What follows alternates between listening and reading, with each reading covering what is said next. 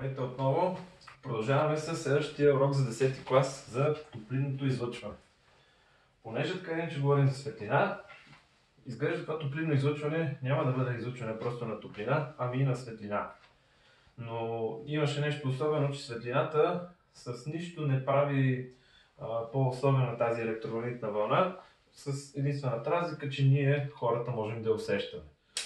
Да, изглежда излъчването на електромагнитни вълни и в частност светлината е съвсем а, равнопоставено за всичките видове вълни.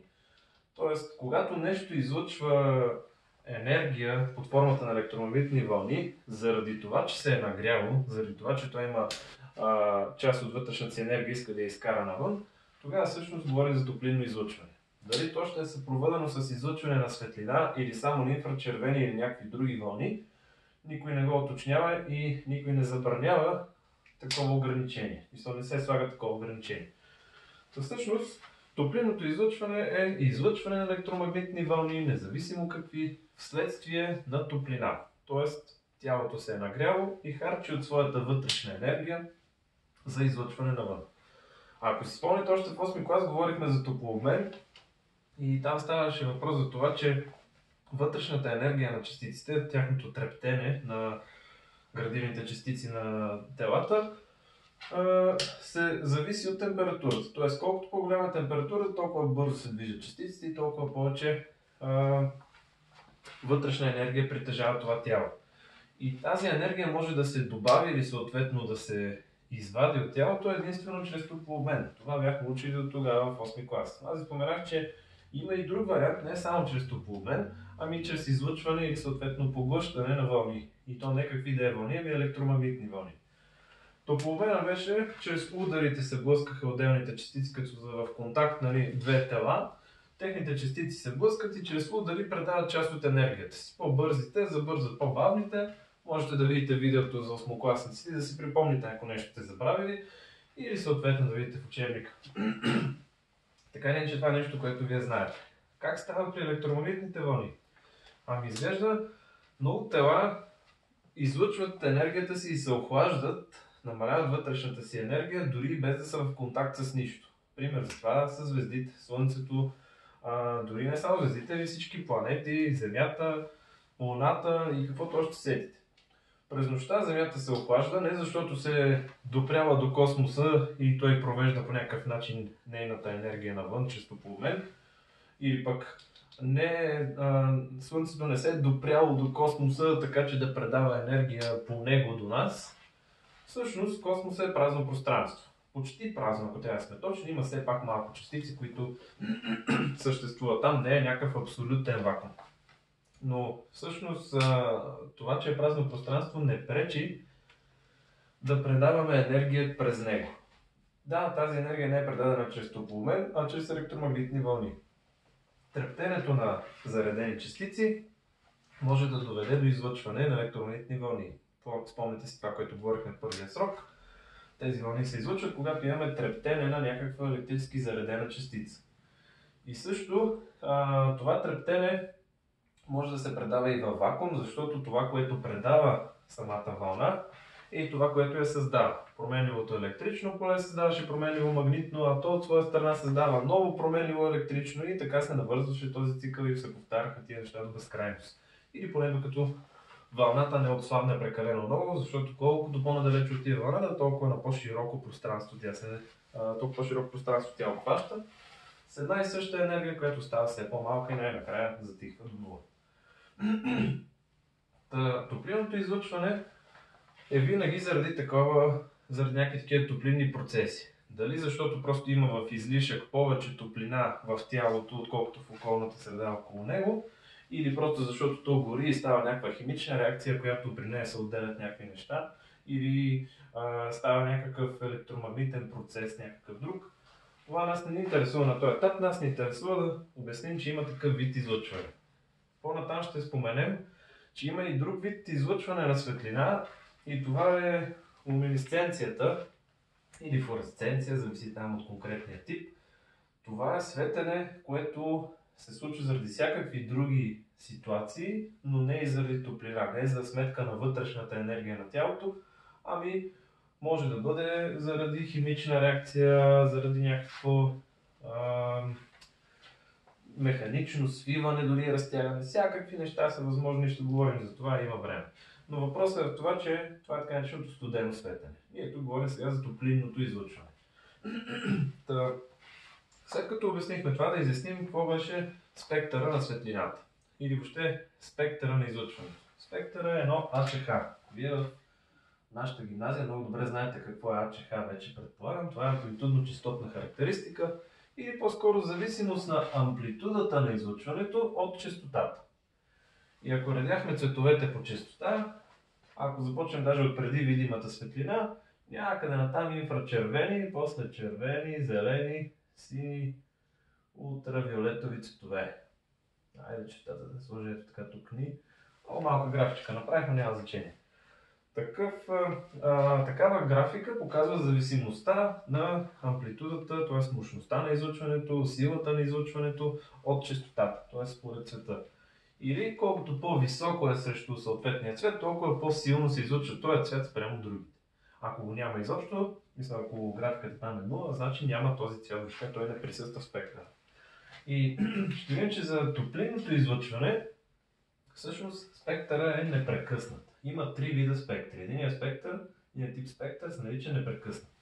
Какво означава непрекъснат спектър? Означава, че всички цветове едновременно се излъчват и няма някой, който да липсва.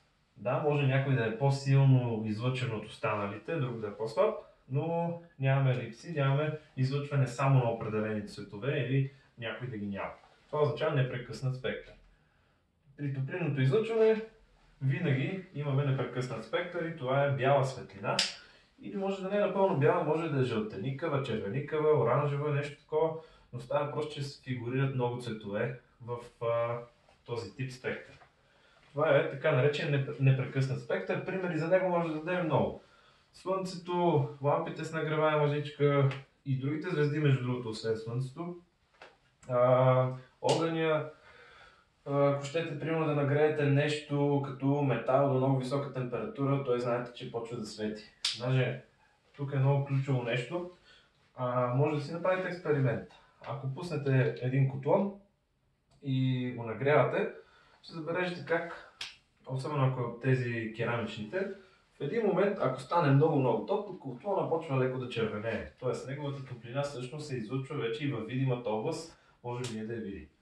А, с малко ще обсъждаме и законите, които показват какви са зависимостите при излъчването и оттам ще стане още по-ясно. Но преди това само да уточним какви са другите видове спектри.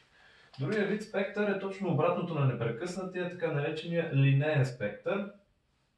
Така, и да напишем, че това е непрекъснат. Така, непрекъснат. А това е линейен спектър. Линейен е, се, се нарича, защото всъщност имаме само отделни спектрални линии, може да е една, може да са няколко, на които има излъчване, но останалите не. Примерно, ето тук има излъчване една игла, така да го наречем една линия, а на друго място няма. Тук има, тук няма. Може едната да е по-силна, другата да е по-слаба, както ви казах, може да е едно, може да са няколко, няма значение. А, в реалния случай изглежда може би малко ето така, това е заради, това, заради измерването, заради това, че няма никъде идеални неща, нито идеални апарати, които да измерят този спектър, нито идеални излъчватели, които да излъчват точно така а, на една единствена монохроматична частота. Винаги има съвсем леко разтягане на този спектър, но на практика трябва да са просто чертички, а не такива на, в смисъл на теория трябва да са просто чертички, а на практика са леко разклонени на страни. Не, че разклонени ми разширени а, тези линии. Та, откъде се излучват такива спектри? Всякакви неща, които светят едноцветно или поне с няколко цвята, но не всички останали. А, най-често това става при, не при топлинно излъчване, ами при луминесценция, но може да стане и при нагряване, при топлинно излъчване от някакви вещества, които са с атомен строеж или това е спектъра, така речения атомен спектър, който се излъчва от свободни атоми. Тоест имате нещо, което е в газообразно състояние, нали, има се прилича газообразно за това, че не са съединени отделните атоми един с друг, не си влияят. и тези атоми са свободни. Тоест това е спектъра на свободните атоми. Излъчването е само на тези отделни частоти, а не на никои други. И особеното нещо тук, много важно е това, че този тип спектри за всеки атом, за всяка молекула, не точно, айде за молекулите са малко, за всеки атом, за всеки химичен елемент са абсолютно характерни. Те са нещо като идентификация дори за всеки елемент. Те са нещо като паспорта на всеки химичен елемент. Тоест, ако нагреете един водороден газ и един азотен газ, ги нагреете до много високи температури или пък пуснете много високо напрежение през тях да преминава ток и да става ионизация, за която сте говорили, предполагам вече по електротехника, но не всички учите електротехника, както и не. А, та, ако става това нещо, ще видите, че спектрите на азота винаги са едни и същи, на, на водорода винаги едни и същи. И това може да ни каже, че ако ние видим излъчване на точно определени частоти, ние може да сме сигурни, че щом излъчва точно тия цветове, изглежда в това нещо има азот и водород, примерно. Даже според това, като видим кои са по-силни, кои по-слаби, може да разберем какво, какъв е процента на азота и на водорода вътре в това неизвестно за нас вещество и даже може въобще да не се налага да ходим да го пипаме, да го щупваме или да взимаме проба от него. Можем чисто дистанционно, просто като наблюдаваме светенето да разберем какво има вътре в това.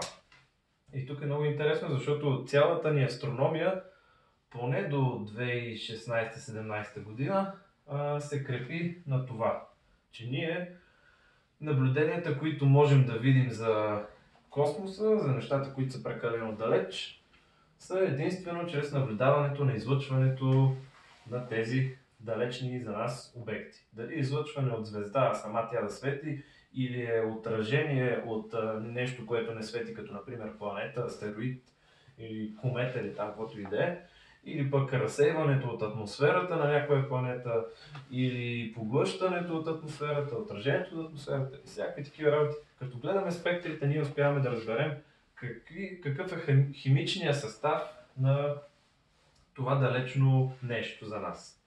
Да, разбира се, като включим директните а, сонди, които сме изпращали на различни планети и дори сме ходили до Луната с а, живи хора, са ходили там, както знаете, а не само машини.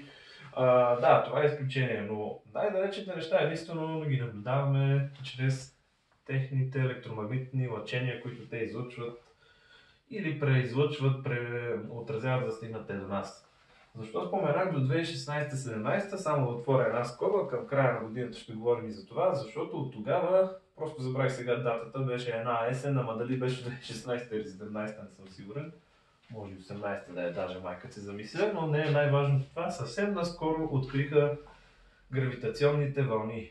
Или по-скоро доказаха, че те съществуват, защото те са били предсказани от Айнштайн с неговата специална теория на относителността още от началото на века 100 години по-късно ние успяхме човечеството да ги регистрираме, да ги усетим с много чувствителни апарати. Тоест имаме вече и друг начин да гледаме далечи неща в космоса, освен чрез електромагнитни вълни.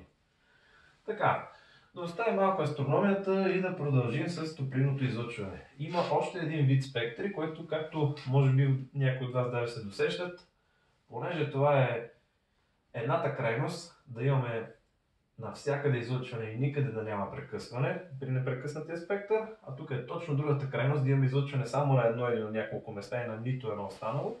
Има и трети вид спектри, които се наричат ивични. Ивичните спектри всъщност са нещо по средата.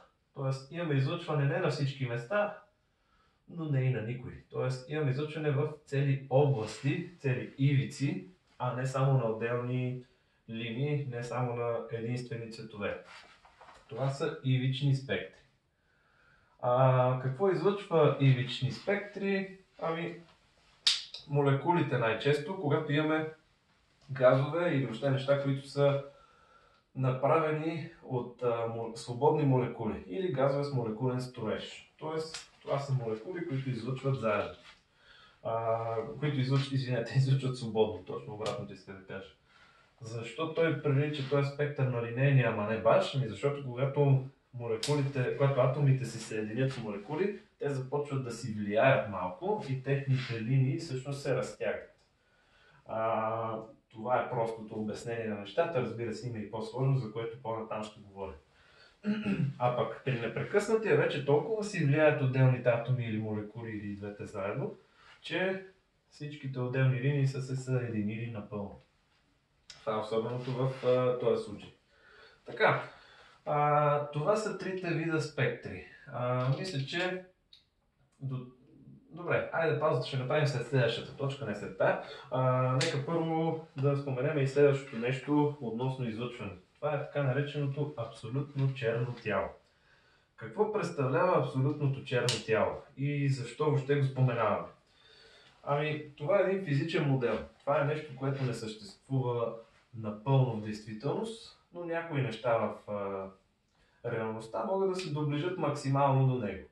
Знаете, доста често в физиката използваме такива модели, такива приближения на някакви абсолютно идеализирани неща, които са лесни за описание, лесни за разбиране, а, а пък след това можем да ползваме и по-осложнени варианти, след като разберем, поне в училище това се разбира, пък нататък вече в университети по-сложни неща можете да учите, а, можем да разберем и в реалния случай как се случват работите. Да, какво се доближава максимално до абсолютното черно тяло? Или, айде, първо да ви кажа какво представлява, да не говорим така на сухо.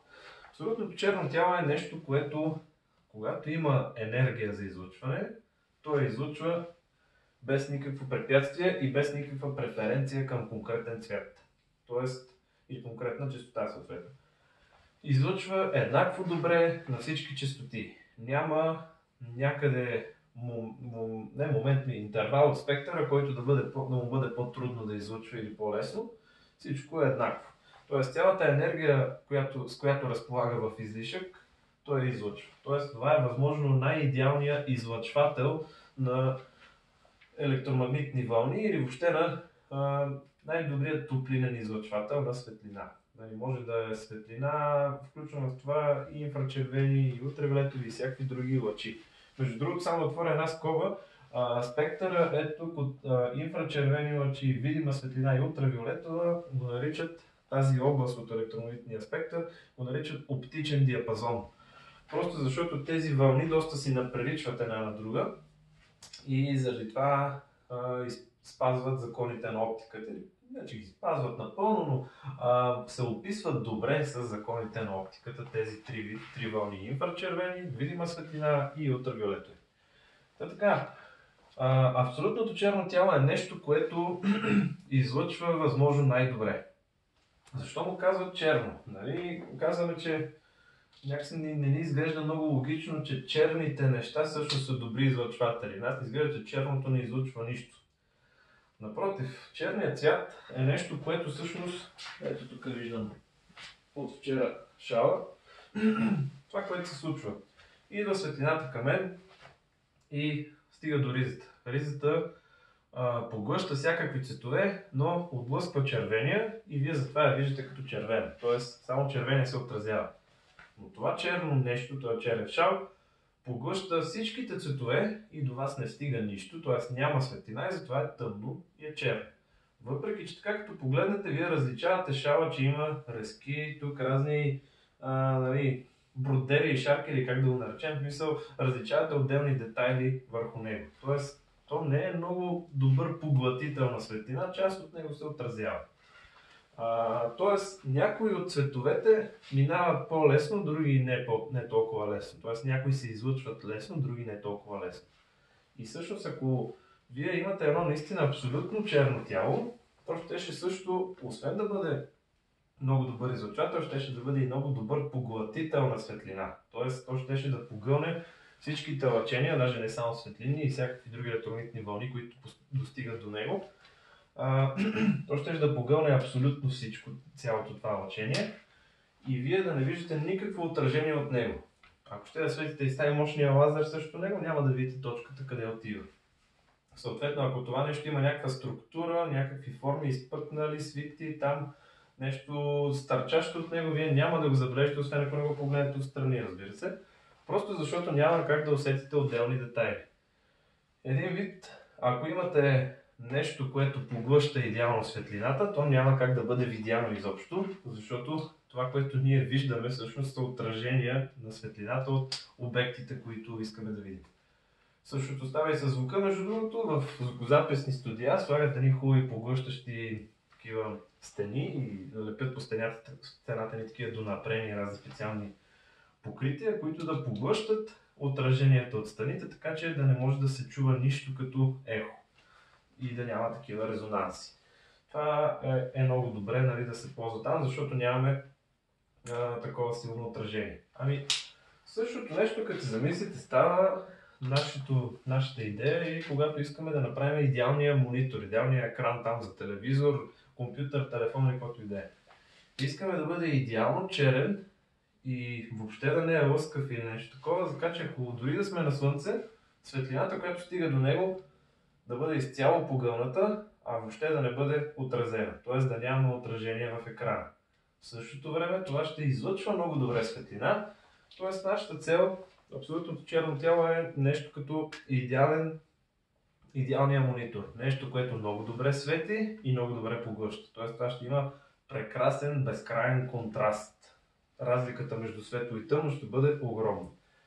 А какво прилича на абсолютно черно тяло в действителност? Ами звездите, Слънцето, въобще нали, много други звезди, колкото и странно да изглежда, да, те са светят, нали, не ни изглеждат черни, но ако можеха да угаснат, те ще да бъдат много черни. Тоест, ако една звезда светите срещу нея, тя много добре ще погълне светлината, която стига до нея.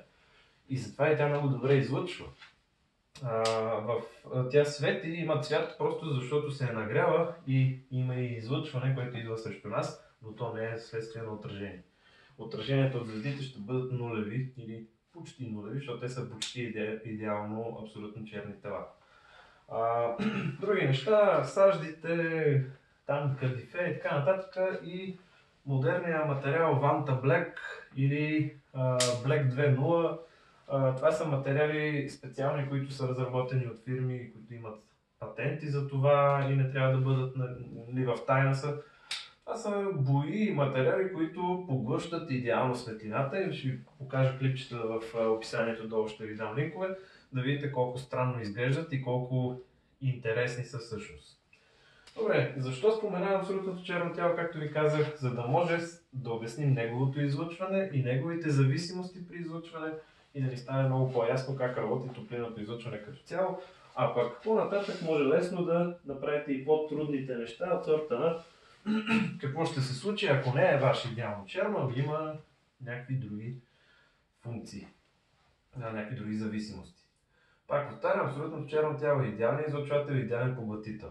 Знаете, нещата, които са черни, много по-лесно се нагряват и много по-лесно изтиват съответно. Добре, а, мисля, че тук може да направим една пауза и след малко ще довършим останалата част с съответните зависимости, законите за топлинното излъчване, закона на Стефан и закона на Вин и тогава ще обсъдим и самите графики. Окей, до след малко. Чао, чао!